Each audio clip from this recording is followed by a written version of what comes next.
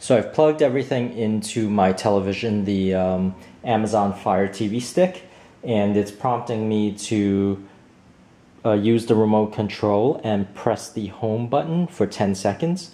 So I'm going to do that. I'm going to hold this down and push it for 10 seconds. And there you go. And it says press play to start. So I'm going to do that.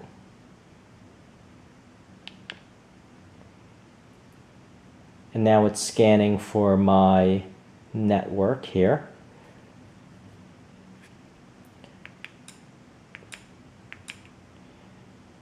And I am going to select my network and type in my password. So I put in my password and I am going to click connect. So I'm going to connect here. Connection successful. And it's checking for updates. Oh great, it's downloading the latest software, which I suppose it's a good thing. So this might take a while. Uh, so it's almost done installing the latest updates and that took about a good 10 minutes, 8 to 10 minutes. So it's it's been downloading all this time and it should be done soon. But it's uh, about 8 to 10 minutes has passed. And it appears the TV stick rebooted. And it downloaded everything. Notice I'm on HDMI 3 which is where I put my stick. So now it's installing the software. So you, you could think of that thumb it looks like a thumb drive, but it's um, a thumb drive connecting to your HDMI TV, and it's really more like a mini computer. And it does say it's dual core with 8 gigs of storage and 1 gig of RAM, which is relatively a lot. Um, so, okay, let's wait and see how long it takes to install the software.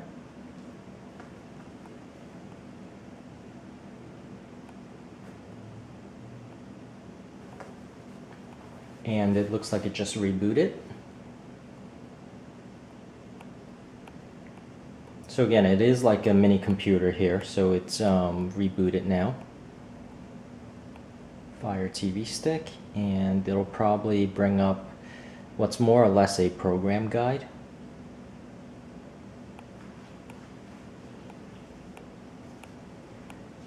So I was actually looking on the Google Apps and I found the Amazon Fire TV remote app, um, but it's actually incompatible with my Google Nexus 7. And supposedly they're coming out with another version of the app around November 26, which uh, hopefully will be supported on uh, my Android tablet.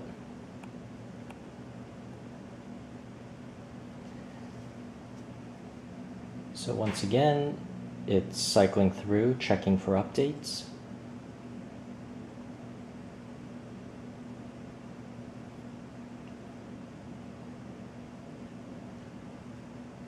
And it wants me to log in. So I'll be logging in, entering my email. So I've entered my email and I click next and it prompts me for the password. So I'll enter in the password. So I've signed in. And so it prompted me for confirmation of uh, that account. Hello, and welcome to your new Amazon Fire TV stick. We want to make sure you get the most out of your new streaming media player. So we're going to take a quick tour together that will teach you how to get the most out of your Fire TV stick. Before we get started, just a quick reminder on setup. For best performance, please use the power adapter that was included. Fire TV Stick lets you stream a huge amount of entertainment, and the included remote lets you access it all.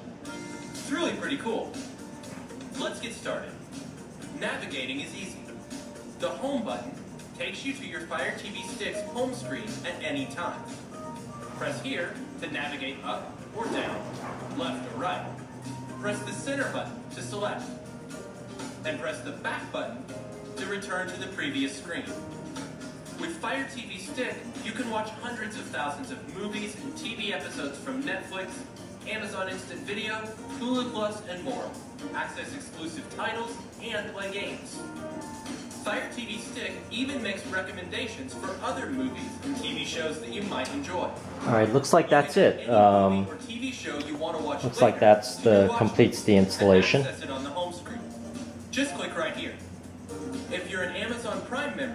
In addition to the shipping benefits, you get unlimited access to 40,000 movies and TV episodes and over a million songs, all at no extra cost. Easily browse Prime content in various categories. Not a Prime member?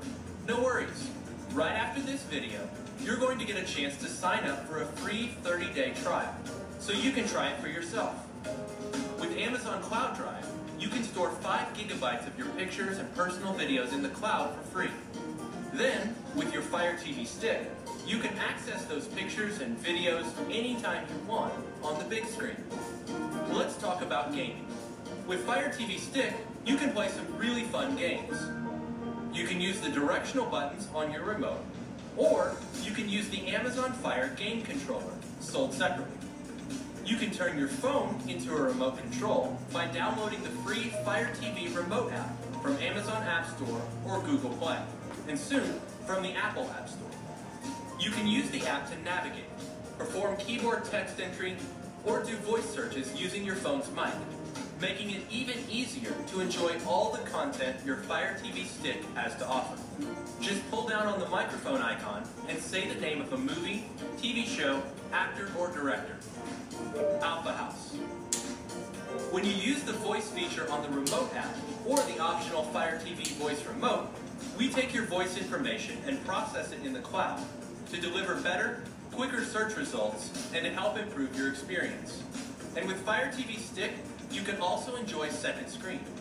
Second Screen allows you to start a movie or TV show on your Fire phone or compatible Fire tablet, and with a tap, fling content to your TV while you continue to do other things on your phone or tablet, like check email, Twitter, or Facebook. Okay, we've just scratched the surface of what you can do.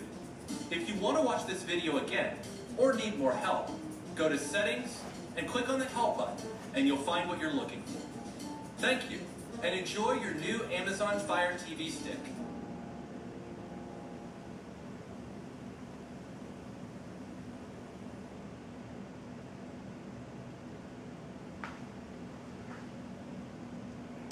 So it's going to try to sell me Amazon Prime, and I'm going to say no, uh, because likely I am, because likely what's going to happen is I'm going to register for the 30-day trial, and it's going to be very hard to cancel.